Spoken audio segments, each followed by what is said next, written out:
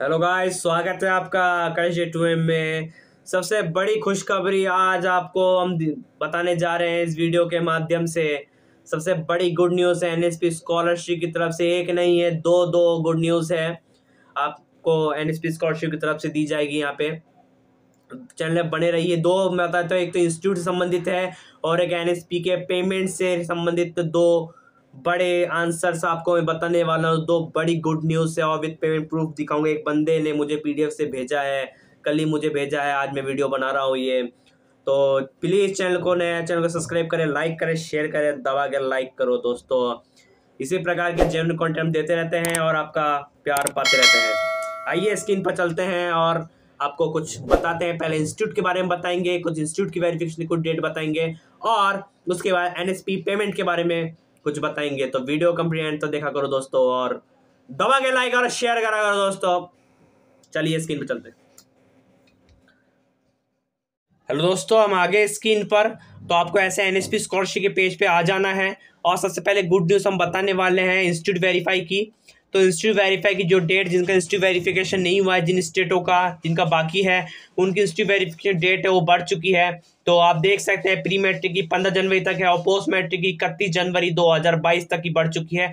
और जिसकी अप्लाई करने की डेट है, पंद्रह जनवरी दो हज़ार बाईस है पोस्ट मैट्रिक की और मेरिट कमीज की बात करें, पंद्रह जनवरी अप्लाई की है और इकतीस जनवरी तक वो है इंस्टीट्यूट वेरीफाई की डेट बढ़ चुकी है। आप देख सकते हैं बेग अजर महल, पंद्रह जनवरी दो हज़ार बाईस तक इंस्टीट्यूट वेरीफाई आप करवा सकते हैं, दोस्तों। तो ये होगी इंस्टीट्यूट वेरीफाई की डेट जो हम आपको बताने वाले थे। जिन बंदों ने इंस्टीट्यूट वेरीफाई में फॉर्म जमा नहीं करवाया, वो फॉर्म जमा करवा दी जल्दी जल्दी, क्योंकि डेट एक्सटेंड हो चुकी है। अभी काफ़ी जो फॉर्म नहीं भरे हैं, क्योंकि एम का रिज़ल्ट आया है एम का रिज़ल्ट आया है, काफ़ी स्टेटों के, अभी राजस्थान स्टेट में भी काफ़ी काफ़ी इंस्टीट्यूट वेरीफिकेशन नहीं हुआ है, काफ़ी लोग फॉर्म नहीं भर पाए हैं। जल्दी से इंस्टीट्यूट वेरीफाई हो जाएगा। इक्कीस तारीख तक टाइम है दोस्तों। दूसरा अपडेट आपका बताएँगे पेमेंट का। एनएसपी स्कॉलरशिप का सब बड़ी अपडेट है गुड न्यूज़ है पेमेंट आने लग गया है।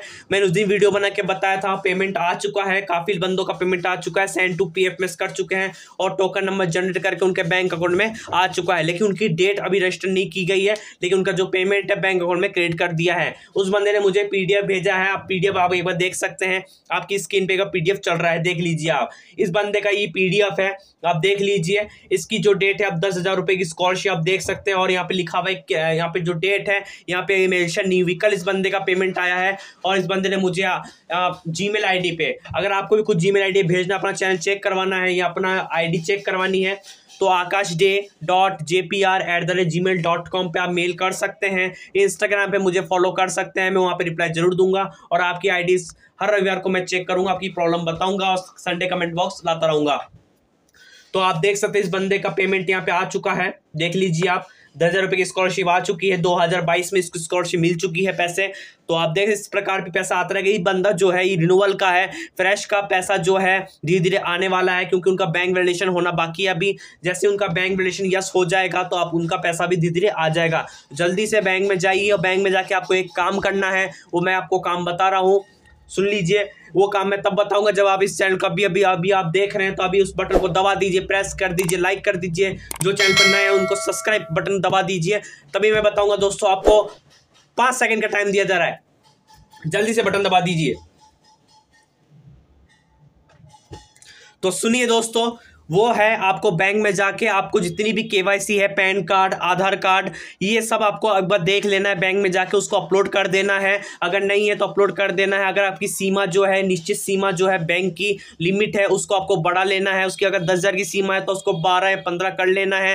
नहीं तो आपका दस हज़ार स्कॉलरशिप आते आते यहाँ तो पैसा अटक जाएगा, या तो पैसा नहीं आएगा। काफ़ी काफ़ी बड़ी बड़ी स्कॉलरशिप है, पच्चीस हज़ार, तीस हज़ार मिलने वाले हैं। तो प्लीज़ बैंक में जाकर उसकी लिमिट को बढ़ाए। क्योंकि एक बार पैसा विफल हुआ तो आपका पैसा आने में मुश्किल हो जाएगा, दोस्तों।